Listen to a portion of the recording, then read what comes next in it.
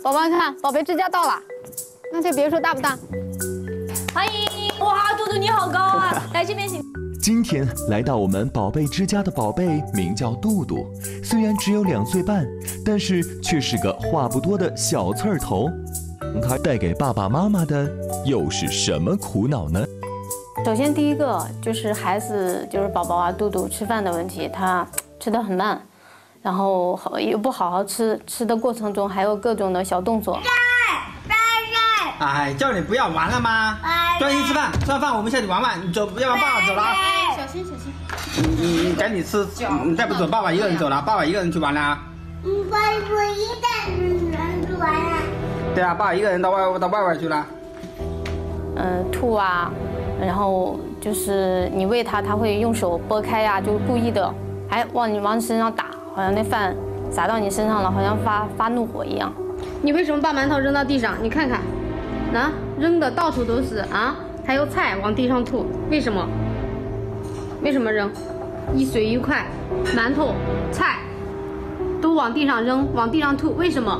你知道你错了吗？啊？你错了没？咚，一咚。啊，第二的就是孩子的这个，就是有点偏执。好了好了，套上垃圾垃圾桶。对好好的把垃圾桶套上好吗？别玩了。这奶哗啦就往地上倒，对吗？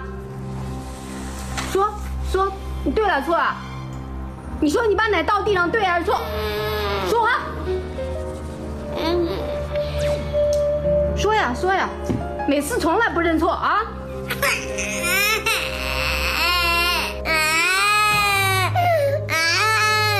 别哭了。哦，第三个就是孩子语言，因为在孩子这个两两周多了，感觉孩子吐字不清楚。你的豆豆，哦，蝌蚪找妈妈。哦，蝌蚪找妈妈。豆豆。哦，蝌蚪，哦，看到了。在念豆豆四。哦，这念蝌蚪四，嗯。豆豆。这个四念蝌蚪，不是真念蝌蚪四。豆豆。这外人啊，一听，哎，说什么呢？宝宝说什么呢？娘我我想让妈妈绑起来。你说错了，你表达错了，那不叫我想让妈妈绑起来，而是我想把妈妈绑起来，懂吗？针对家庭的求助，我们特邀了育儿专家杨子老师和营养专家徐静老师来到宝贝之家，共同帮助他们解决困扰。好，我做那个。啊，行，我做这个。那就这一台。啊，好，我开这个，你你。加油！出发了，出发了！哇哇哇哇！你走太快了，这妈妈这个车没轮子，怎么走吗？我我们去哪儿啊？我们上不去。有个上个台阶啊，你看着他很费力，很费劲，想去帮。他说了不让帮忙，你要去帮忙，他不行。你帮了他，把这个事情完成了，他要重复，好倒回去，重新去做一遍这个东西。我们上不去，上不去。你能上去吗？他固执的性格，我觉得频率特别高，几乎感觉只要他有一个小想法，就是按照他的想法，他他的要求去完成去做。把那狗踢踢在后面。好。不要。那你看。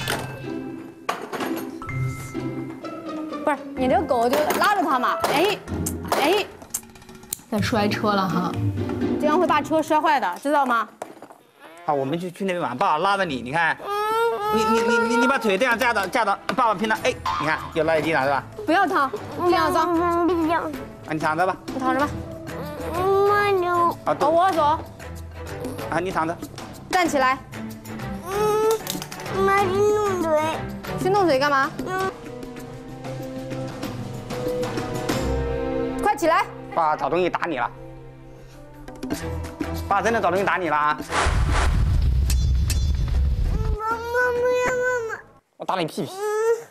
真打屁屁啊！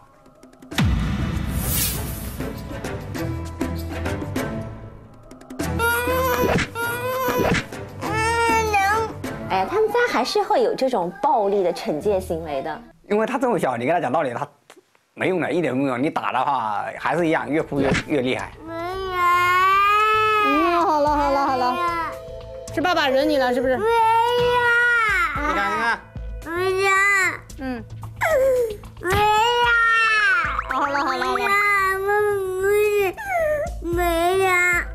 其实我们看这个杜杜啊，嗯，他的不管是摔车的这个行为也好，把手蹭脏也好，并不是因为当下这个事儿不开心，而是因为他这一天的压力是没有释放。他这两个动作都是在告诉妈妈，我很生气，我很愤怒，我心里有很多的压力，但爸爸妈妈不理解，就觉得你在搞破坏。不得不说，杜杜真是个执着的汉子，但架不住爸爸和妈妈的联合攻势，最终还是败下阵来。电视机前的爸爸妈妈们，如果您家的宝贝也有各种让你苦恼的问题，抓紧扫描屏幕右下方的二维码，或者直接在微信中搜索“育儿大师”官微，关注节目公众号，了解更多相关育儿知识。打打打到十四楼，搭个十四楼啊？那来我们一起搭。十四楼。好，你过来，我们一起搭十四楼，好不好？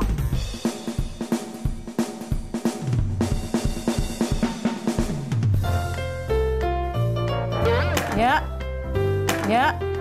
哇，看我妈妈摆这个好，越来越高了，你看看。我几下？哎哎哎哎！你是诚心的吗？诚心的吗？这个小孩，我觉得他的那个专注力短，然后玩一件东西啊，有时候再玩着玩着他就没耐心，就开始搞破坏了。别动！来，所有的小朋友，其实最开心的堆积木的时候，不是说我把积木堆得很高看的那一瞬间，是我推倒的那一瞬间，轰然一下一个立体的东西的倒塌，空间的变化，然后以及这个啪的声音，这是最有趣的。嗯嗯。但妈妈没有意识到，呀，这么多玩具，看，还有车，快过来！哇，会跑的，来，你看，我也放在地上。这个还绑了一个骨头呢，看狗狗爱吃骨头。来，您可以牵着它，你可以去遛狗狗了。袋子也放在地上。那那哪哪些放地上，哪些放桌子上啊？这个能放地上吗？袋子是吐字发音不是特别清晰哈。这个能放地上吗？来，这可以站在地上，看袋子地，啊，那个可以呀、这个能放地上吗？也不能。也不能啊。大的不要放在地上。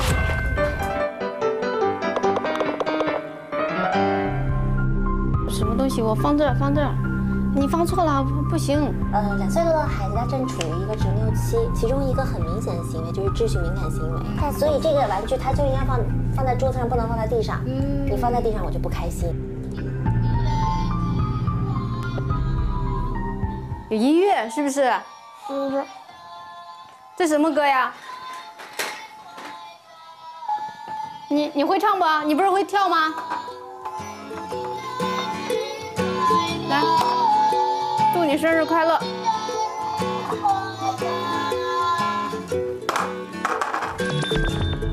我也放在地上。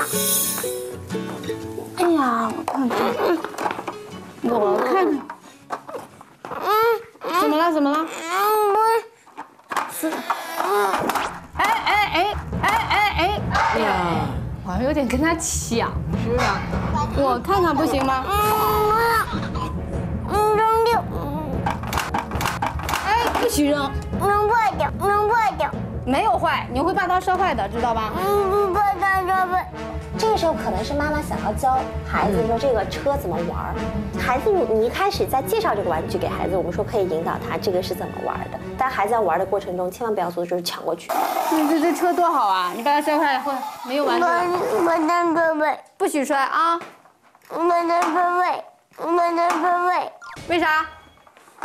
说你说喂，不可以，不可以你。想屁股开花了？你想屁股开花了？那这一会儿就要送你了。嗯，我的。哦，你的。哎哎，妈妈好凶哦！其实有时候家长挺不了解理解孩子为什么突然出现了很倔的行为，为什么玩到好就要摔坏了？因为这是我的车，你突然拿走了，它已经不是原来我最完美的那辆车了。哦，所以我现在宁愿把它摔坏，表达我的愤怒。看把这个车车摔坏了，你说对不起，对不对，好好说，又开始让孩子认错了。好好说，你说对不起。龙，妈妈以后我不摔了，你说你你对不对？好，你说对不起。对不起。这个宝宝似乎好像说的不是那么让妈妈满意啊，认错的。是，但其实就看到这个宝宝的表情就知道，他其实并没有觉得他自己错了。这样的认错敷衍的，没什么意义。基本上，呃，你他说出对不起的情况相对是比较少，经常是应付你。这这这谁呀？嗯嗯，我我这谁？嗯，不认识。你看看他长得像谁呀？嗯嗯，你想想 pig 是啥？你告诉我，我就给你。嗯你说，这妈妈怎么感觉也在执拗期呢？对，哎呦，宝宝哭了。啊，好了好了，给给给。好了，pig 不是猪吗？有时候他就是纯粹就是跟你闹情绪，这明明是个猪，或者说明明是只猫，他非说这是狗。是什么有那么重要吗？我说这不是猪，那你第一反应应该是好奇的说，哎，那你说这是什么？对你说一个哪怕很天文、很不着边的，那你解释一下，你会发现能听到特别美的答案。走，我们去客厅玩，走，宝宝。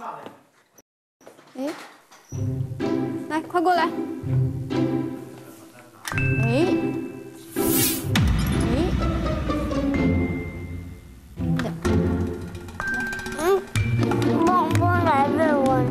那你慢慢的啊。他可能觉得，哎，这个小狗我自己能拿，你不要帮我。然后你一帮呢，就会成反反了。然后他可能一个是来脾气，一个就是还会按照他的想法这样去完成。他他摔坏了，不不会，轻轻的啊。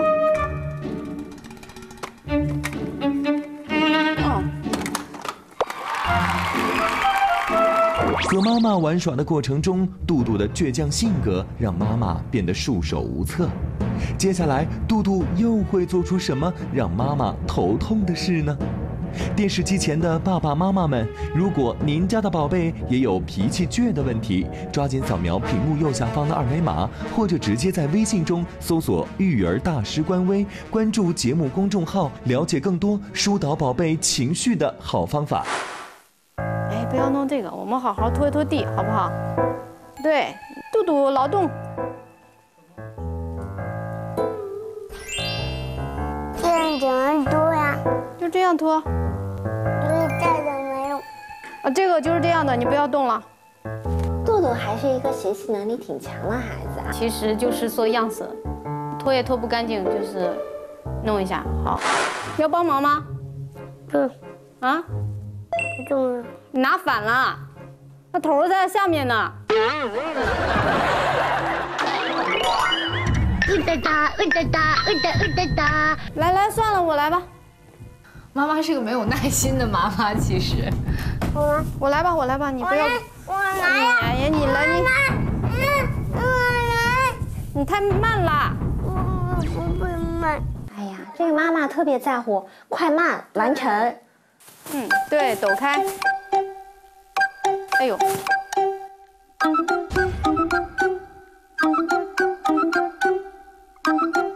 需要妈妈帮忙吗？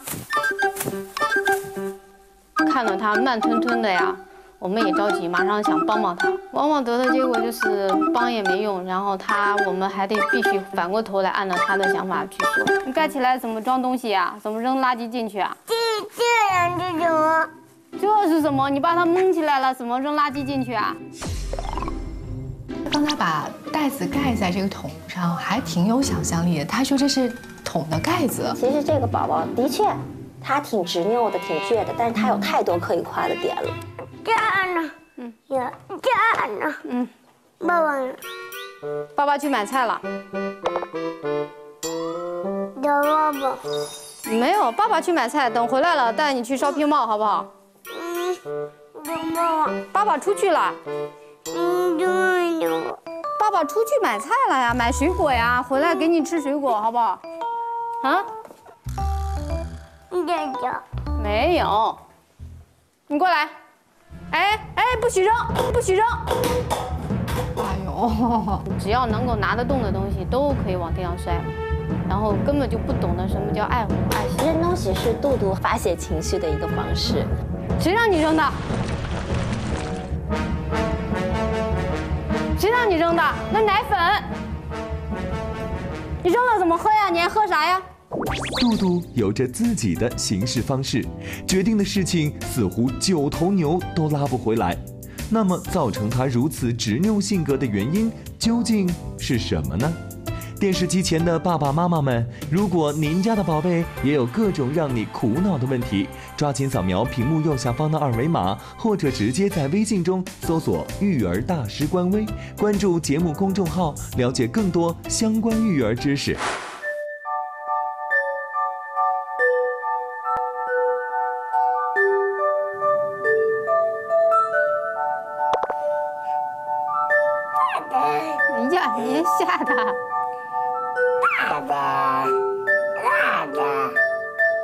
哟，他的头一缩一缩的。别让它咬到你啊！咦，爬起来了！呀，抓到！来，你看乌龟，哇，这两条腿好有力气啊！哎呦，哎，你看，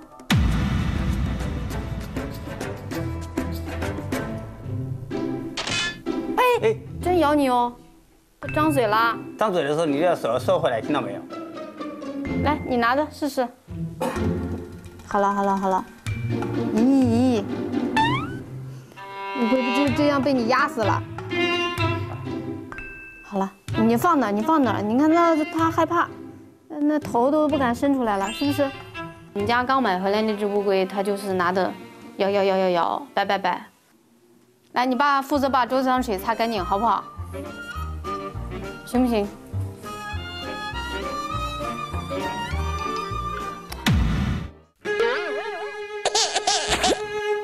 哎，把它闷死了。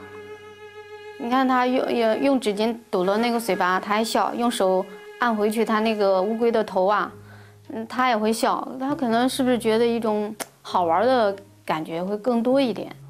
哎，不要不要这样捏，这这这水都跑衣服上了，袖子弄弄湿。不要丢，不要丢。这是他故意往地上丢东西，这种情况我们引起的打他的情况特别多。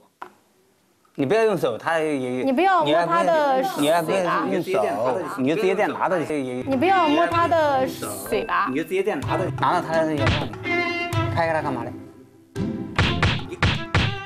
打他他会疼。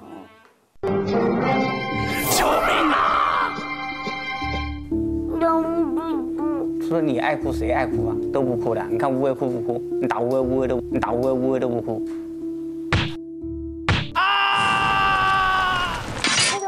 母的教导方式，我觉得还是真是得好好跟他们聊一聊。他打乌龟这件事情，他没有任何的阻止的动作。没有，转转，哦，那你慢慢转，哎哎哎，就会把乌龟摔了，知道吗？我们要转，轻轻的转，对不对？这样在这儿转可以，这个这个就不会掉下来了，慢慢转，小心摔了啊！得以拿。对，可以拿起来，小心一点，啊。看看到了，看到了，小心一点，慢慢放，慢慢放。哎，哎哎哎，你看，哎呀呀呀，看到没？这个父母真的同意孩子这样玩儿，所以我们说这个孩子他暴力的原因，全是来自于每天的日积月累最亲密的人的影响，就是爸爸和妈妈。所以孩子这样的行为不仅不会随着他年龄的增长，他的认知能力的提高而减退，他会越来越严重。上幼儿园会欺负其他小朋友。除了脾气倔强外，还是个暴力宝宝吗？电视机前的爸爸妈妈们，如果您家的宝贝也有各种欺负小动物的行为，抓紧扫描屏幕右下方的二维码，或者直接在微信中搜索“育儿大师”官微，关注节目公众号，了解更多改变宝宝暴力行为的好方法。快吃饭了，来，不吃饭，不吃饭吃啥？不吃饭。啊上一桌你看你的乌龟已经在上面了，你看那一那乌龟乌龟在上面。哎呦，这妈妈是硬把这个肚肚塞到这个婴儿车里面。那个放在下面，给我，放桌子上，放桌子上。你吃这个。给我的，梦的。放这儿，放这儿，放这凳子上。你不顺着他，他饭也不吃，就跟你摆情绪，踢桌子啊，或者说哭闹啊。但是我们也拗不住他。其实你看，杜杜他是一定要拿着这个小狗来吃饭，代表他心理上觉得玩这件事还没有结束。应该教会妈妈的是如何让孩子觉得玩这件事结束了，可以吃饭了。你想吃什么呀？吃水饺还是吃馒头啊，宝宝？你吃啥？他家的菜倒是挺丰富的，杜哥呀。应该还算丰富。你看绿叶菜也有，还有排骨、动物性的食物，包括凉的、热的。这个这这一餐应该说从营养角度上来说是比较齐全的。别管乌龟了，乌龟乌龟在睡觉了。宝宝，啊豆子吃饱，吃吃饱嘛，我们就我去去给乌龟玩。看到没？奶奶说的也是方言，所以宝宝他说话说不清楚，可能跟这个也有关系。我我是牛呀。你是什么？我我是牛。啊，你是牛。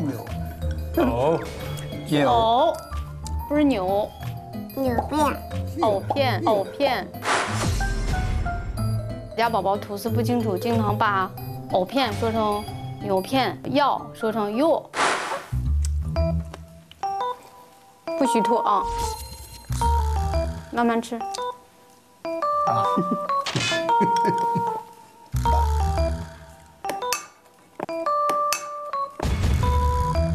他一点兴趣都没有。奶奶喂，奶奶喂啊，我宝贝，啊，让妈妈吃点饭，好不好？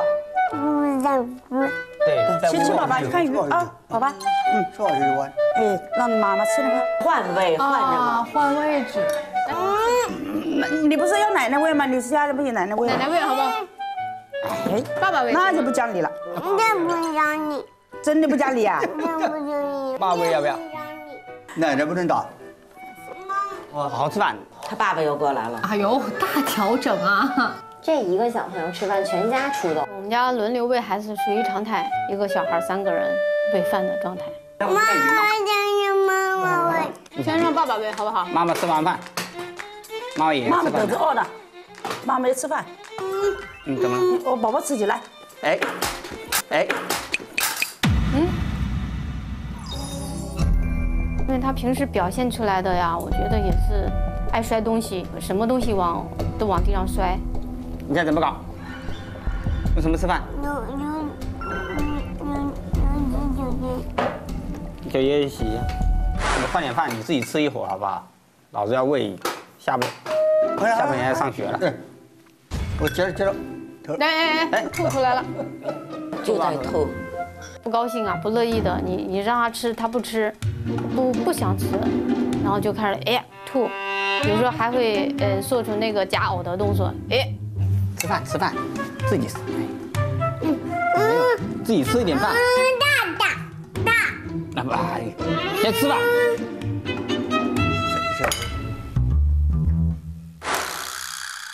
那拿筷子吃吧。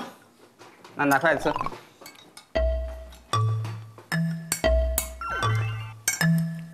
吃饭。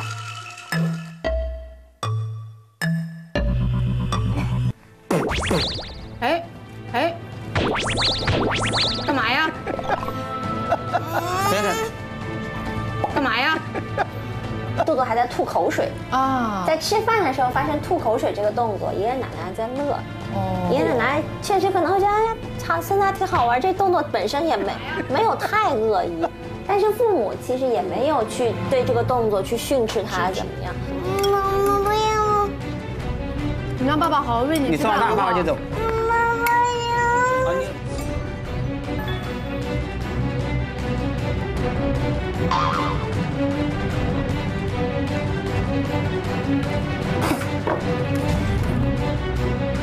哎，不行这样。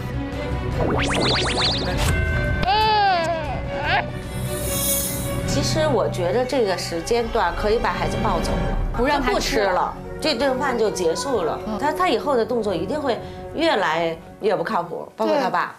不要踢，不要踢。不要踢，这个跟你说了一百遍，脚不要夹到桌子上。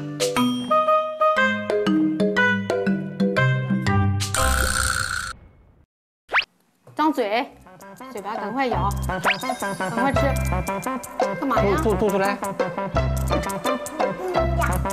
不跟在你嘴上吗？吐了。一。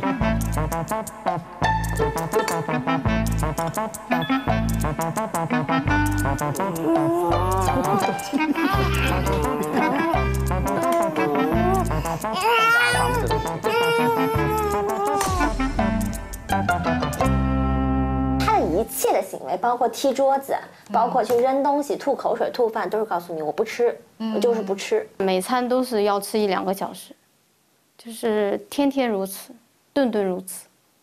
来，缩在爸爸身上，赶快再吃点。再吃一点点啊！你干嘛？再吃一点吧。肉肉。你吃完了再玩狗。吃完了再玩狗。你不吃完不给玩狗啊！再吃再吃就吃一点点。好，别说了，赶快吃吧。去楼上，你吃完饭，你吃饱了，把这个吃完了，我就去楼上。你看他都离开那个餐桌，他还在喂他，哎呦。就他这个吃饭的状态，他那些营养素，像他那些微量元素，绝对不会是说满满的，或者说合格。这样吃饭是不行的，就必须要改变。别人都吃饱了，就剩你了。哎，来，你坐这，站着吧。我给你把狗狗拿。听话，宝宝。那个，你看狗狗看着你呢。好了。怎么搞的？哦，爸爸，不不准哭了，不不准哭了，不要哭了，不打屁屁了。好了，不要哭了啊！爸收起来，你不许哭，听到没有？嗯。然后大鼻涕都出来了。这小孩也不怕打，不怕疼就不怕人，这种情况。对于他来说，拿东西威慑性更强一点。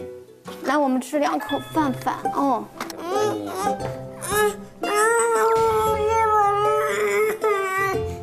哎哎哎呀！你说这赖谁？他们家这些饭最后就落到两个字：浪费。你拿着饭勺去喂他，他故意就就拨在你身上，就故意打到你身上，这个情况。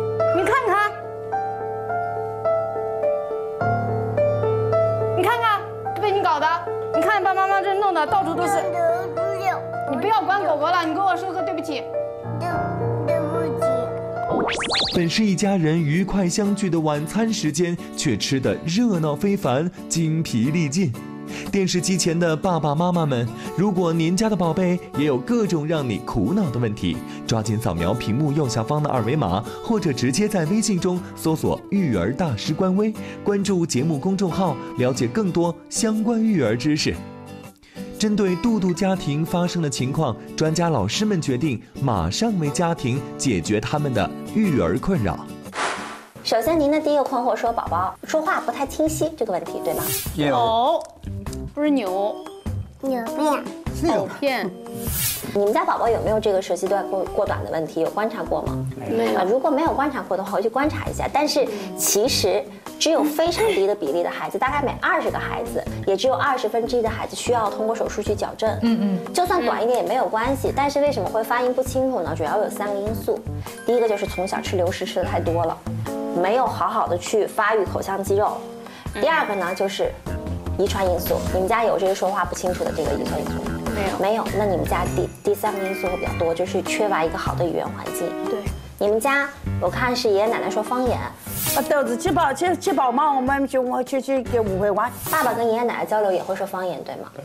咱们以后把语言环境尽量规范一下，尽量规范。然后每一天呢，留出一块时间是专门去培养一下语言能力的。这个每天只要加强，不用说多长时间，可能十几分钟。去去听一下儿歌，唱一下儿歌，然后培养一下就可以了。所以以后把这语言规规范下来，我觉得发音问题不是一个太难的问题。第二个说你们家宝宝性格特别拗，脾气好，对，就是你们是经常看育儿大师吗？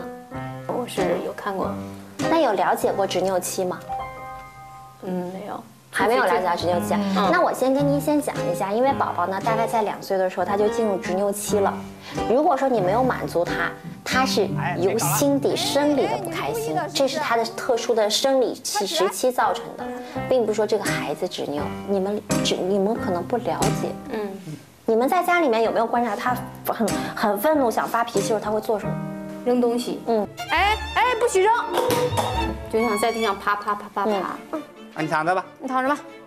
嗯，妈牛。啊，我走。我吐口水。吐口水，吐口水。哎，干嘛呀？好，那我这个给您解释一下啊。所有你说的这些行为，他都在宣泄他的情绪。嗯，都是什么？就是坏情绪是会传递的，挫折感是会延伸的。就是我这件事没做好，我要和爸爸对着干。其实只是我的一个执拗行为，我没有得到满足。下一件事我一样做的不开心，结果从天到晚你就会发现，你们也在发泄脾气，宝宝也不开心。嗯，对。哎，哎，你看看，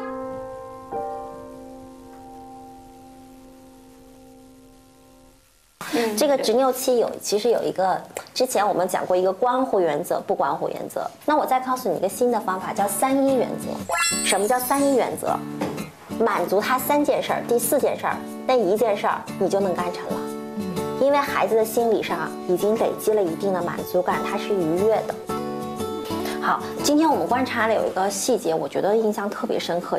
杜杜刚开始对乌龟是很温柔的，摸它，摸摸是吗？嗯。但是后来因为这个水是不是倒在桌子上的问题以后，爸爸是拽了它，杜杜就生气了，开始拍乌龟，开始拿纸堵乌龟的头。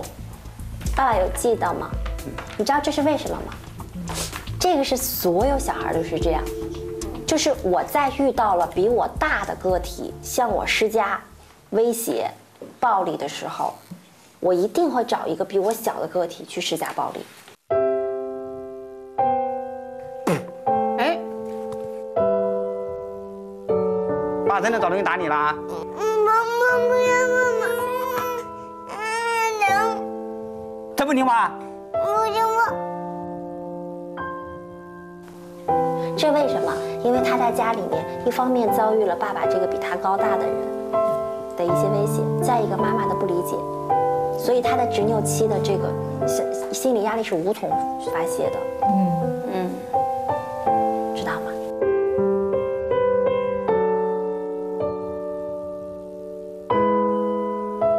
后来发现自己在育儿这方面的知识太缺乏了，我跟我老婆需要恶补。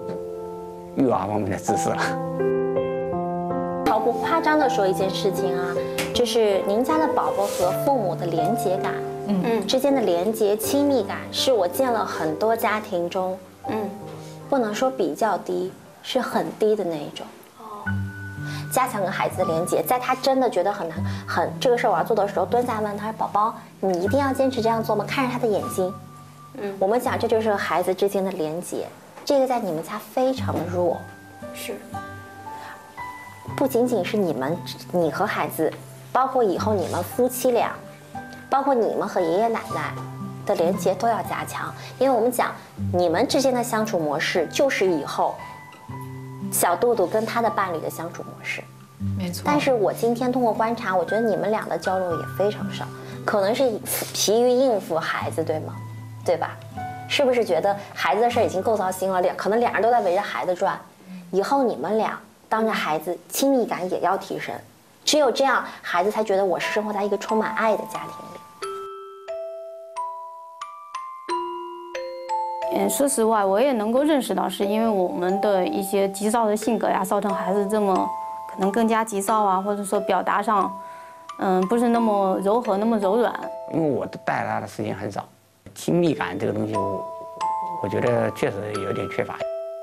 一个家庭最重要的、首要的关系一定是夫妻关系，是他对于“爱”这个词最初的理解。爸爸和妈妈在一起就是爱，那我的爸爸妈妈和妈妈在一起是什么样的互动呢？在他的心里就会有一个小小的萌芽一直在长。那接下来我们再说回孩子有一些表现性的问题哈，就比如说我们看到你们家吃饭，吃饭这一块有很多的问题，也需要给你们指出。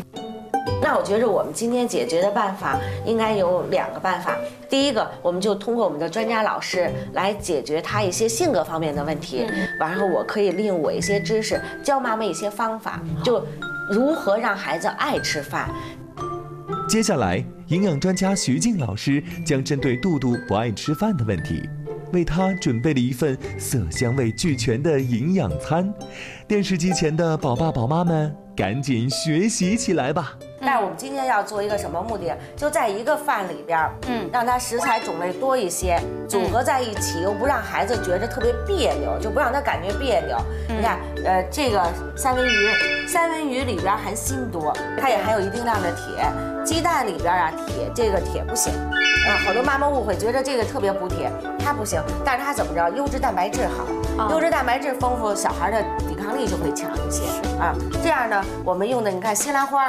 西兰花对孩子眼睛特别好，大人吃也好。你在家里头炒成这样一个炒饭，全家都可以吃。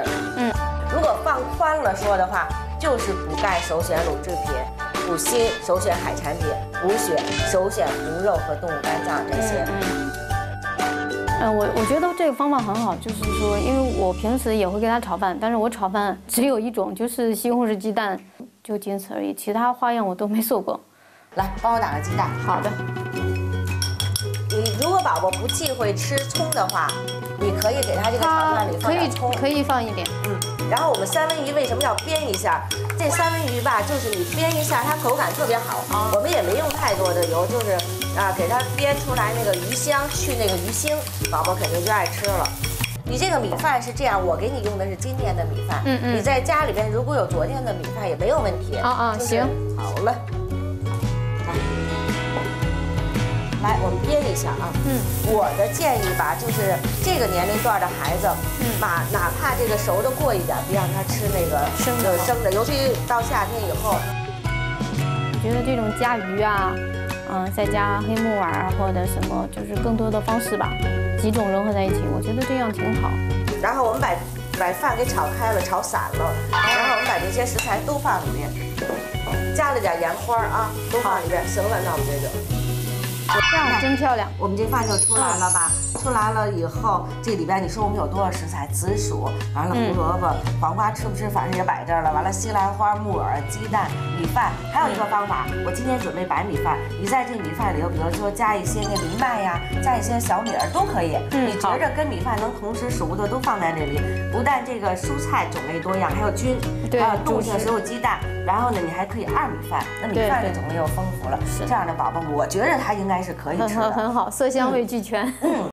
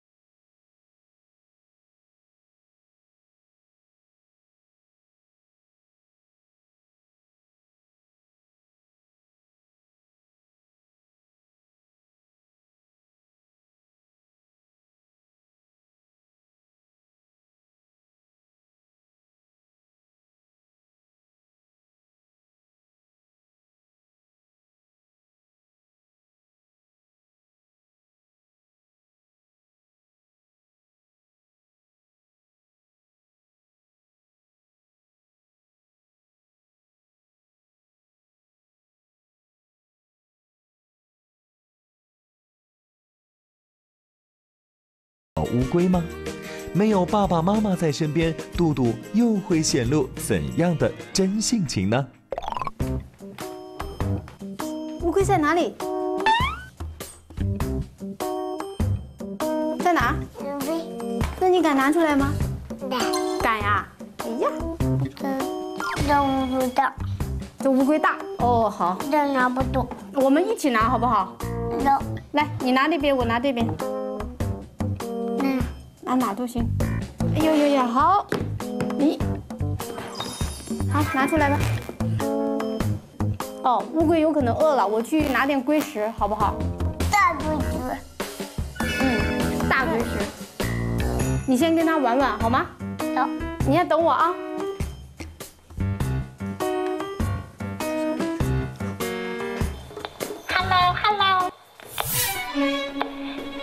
我，我是这只小乌龟，我会说话的。我在跟你说话呢。我的名字叫小豆丁。嘟嘟你好。嘟嘟嘟嘟，我们是最好的朋友啊！我是这只小乌龟。对，就是我，就是我。嘟嘟，你平常对我特别的好，你能像你平常那样温柔的摸摸我吗？我特别喜欢你摸我。嘟嘟嘟嘟，你怎么走啦？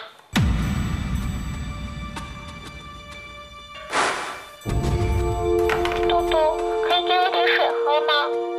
我肚子好痛啊，可以给我一点水喝吗？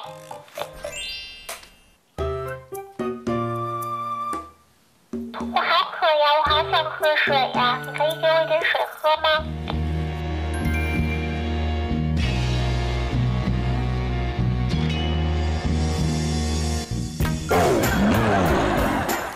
我也想喝水，嘟嘟。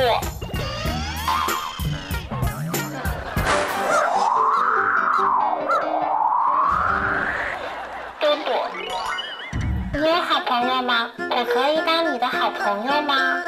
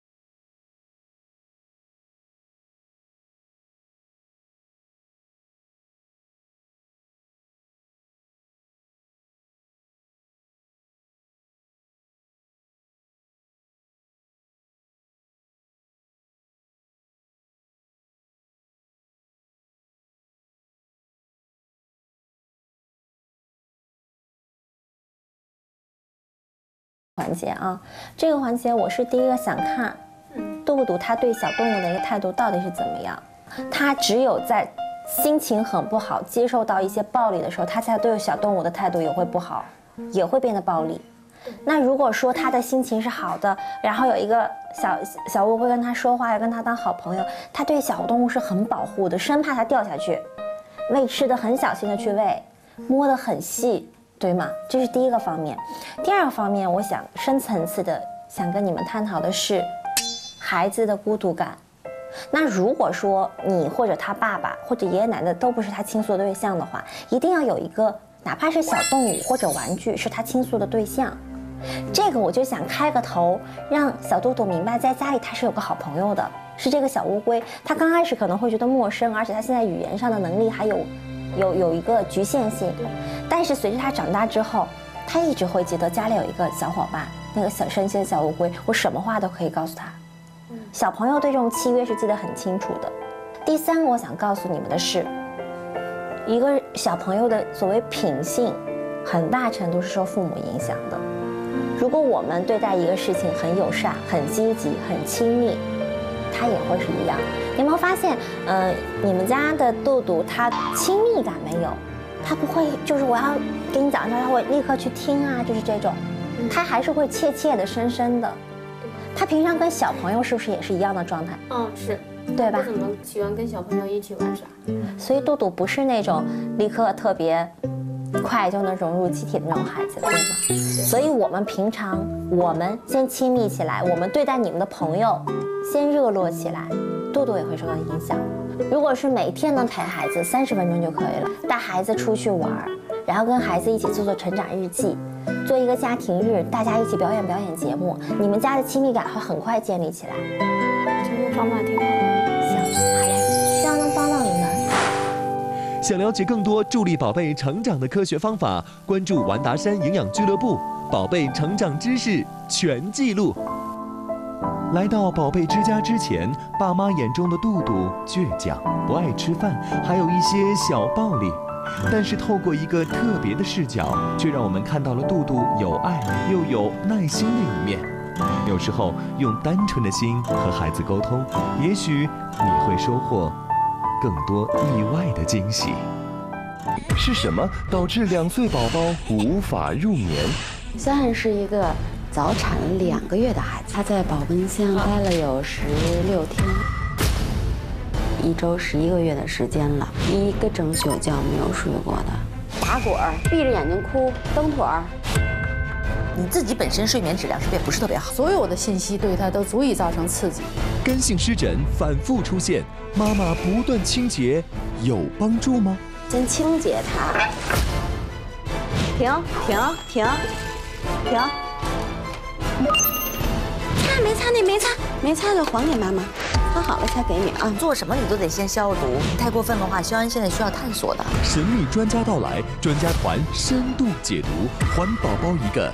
健康童年，宝妈们，如果您家有零到六岁的宝宝，在育儿方面有任何的困扰或者困难的话，欢迎拨打我们节目的报名电话，或者扫描屏幕下方的二维码参与报名。以上就是我们本期育儿大师的全部内容了，我们下周同一时间不见不散，拜拜。